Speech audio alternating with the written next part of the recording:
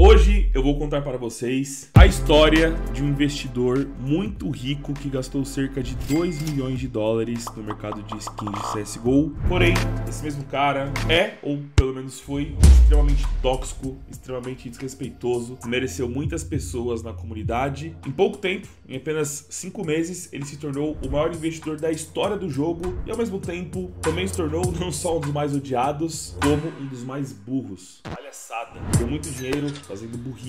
Parte disso foi culpa do seu ego inflado. Ele passou tanta vergonha que sumiu. Vou contar para vocês hoje a história do Lunar, o investidor tóxico, muito rico e ao mesmo tempo o mais burro da história do CSGO. Vem comigo.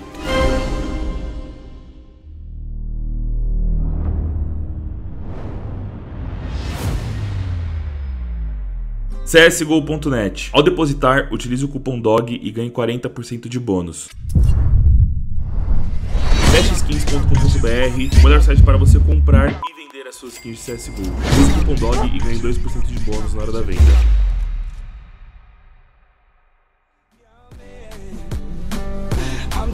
I've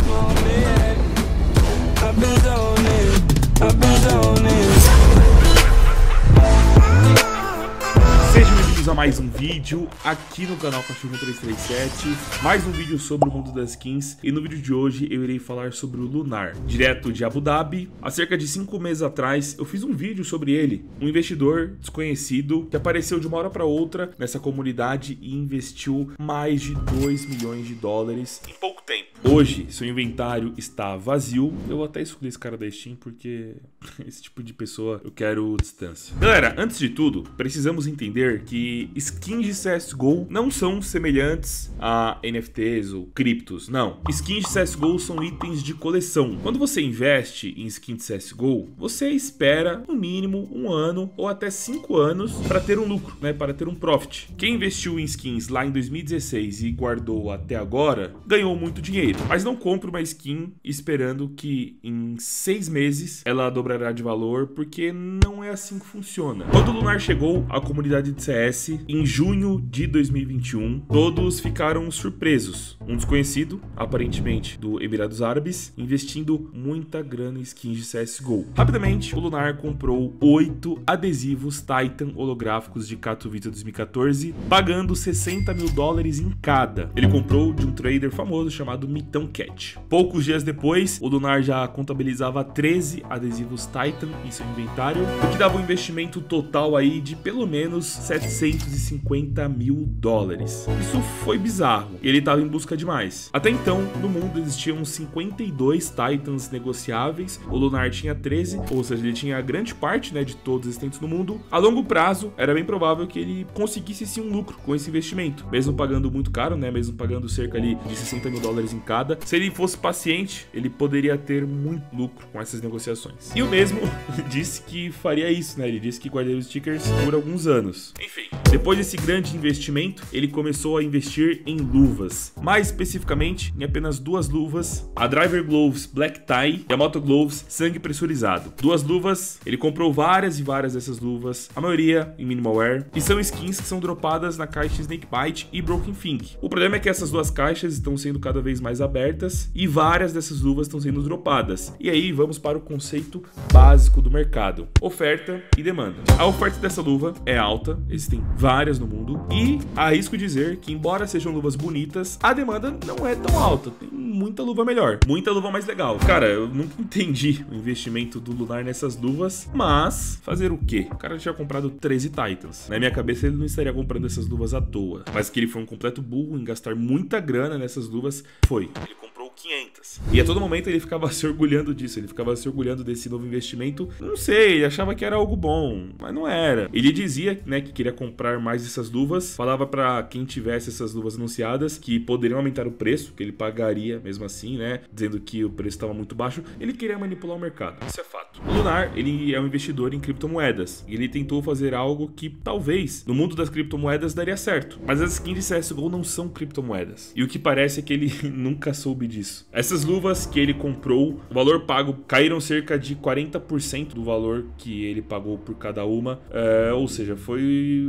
Cara, eu risco dizer que o pior investimento da história do CSGO. Principalmente por ter sido em larga escala, né? Vários itens. Ele não era só um cara péssimo investindo em skins de CSGO, como também na hora de tratar as pessoas. E aí chegamos na parte onde iremos falar sobre como o Lunar era tóxico, como que ele desrespeitava as pessoas e se sentia superior pelas skins que tinha. Ele era prata, fazia uns tweets tentando se aparecer, mostrando que matou vários numa partida, né? Prata. E aí as pessoas respondiam, né, esses tweets e, pô, ele era super grosso, tá ligado? Ele mandava a pessoa calar a boca, falava que iria encontrar as pessoas e puni-las. Mas relaxa, é mandar alguém calar a boca e falar que vai atrás para punir a pessoa é de boa quando comparado a isso reclamava das pessoas não elogiarem ele no final de uma partida. E o pior, ele tava reclamando das pessoas seguirem ele no Twitter apenas pelos sorteios que ele fazia. Sendo que ele criou isso. Ele, pô, ao invés de criar um conteúdo, é, ou enfim, falar sobre investimentos, passar dicas, tratar bem as pessoas, ele fazia totalmente o contrário. E depois saiu reclamando porque as pessoas não gostavam dele e que estavam ali apenas pelos sorteios. Resultado, o Lunar começou a ser odiado pela comunidade.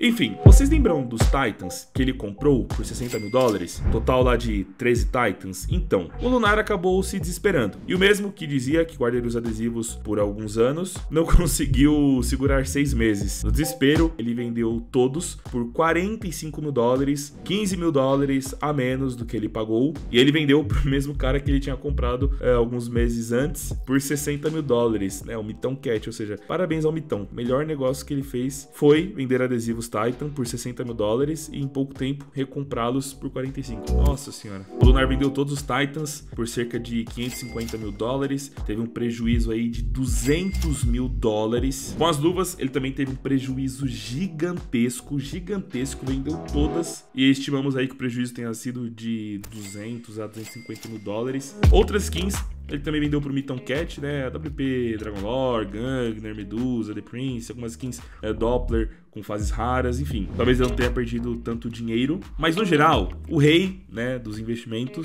rei entre aspas, perdeu cerca de 400 a 500 mil dólares meses. Parabéns, Lunar. Parabéns, viu, seu cocô? Ele passou uma vergonha gigantesca, sumiu do Twitter, uh, o perfil dele na Steam, como eu mostrei, já não tem mais nenhuma skin. E eu acredito sim que parte disso foi o seu ego extremamente inflado. O Lunar poderia ter criado laços com pessoas extremamente experientes desse cenário que ensinariam muito para ele. Ele poderia sim ser um anônimo que investe alto no mundo das skins e mesmo assim ser adorado pela comunidade, pelas coisas que faz, pelas pessoas que ajuda, pela forma que trata os outros. Aqui no Brasil a gente tem o exemplo do HK. Ninguém sabe quem é o HK, mas todo mundo percebe que ele é uma pessoa fenomenal. O cara tem dinheiro, o cara investe skins, mas trata todo mundo bem. Todo mundo bem. Né? Ajuda muitas pessoas, vários streamers pequenos aí. Então, assim, enfim, é, o Lunar buscou isso tudo. Uma vez eu, eu escutei alguém falando assim: ó, você quer investir em Bitcoin, criptomoedas? O seu primeiro investimento tem que ser num livro sobre. E eu acho que o erro do Lunar foi esse. Ele investiu 2 milhões de dólares em um mercado que ele não tinha nenhum conhecimento. Obviamente que para ele chegar investindo toda essa grana, é, ele, pô, é multimilionário, talvez bilionário, então o cara não tá pobre, o cara não tá passando dificuldade. Não, mas foi uma grande perca. E todos nós aqui corremos o risco de de perder dinheiro comprando skins ou comprando qualquer outra coisa, investindo em qualquer outra coisa. O Lunar só passou vergonha porque ele se sentiu superior. Se ele só perdesse, mas ele fosse um cara sensacional, enfim, como eu já disse, né, como eu acho que as pessoas devem ser, cara, teremos Dode. Ninguém ficaria feliz com isso que aconteceu. Acho que vocês entenderam meu ponto, né? E lembre-se, skins de CS não são criptomoedas, não são tão líquidas e as pessoas compram pela aparência, né? Afinal, são skins. E é isso, espero que vocês tenham gostado. Só lembrando, todos os dias aqui no canal Cachorro 337, dois vídeos novos. Se você curte um conteúdo da hora relacionado a skins CSGO, se inscreva, ative o sininho e passe aqui todos os dias às 14 e 19 horas para não perder nenhum vídeo. É isso aí, manos. Eu, Rio, por aqui. Até o próximo vídeo no canal Cachorro 337. Falou!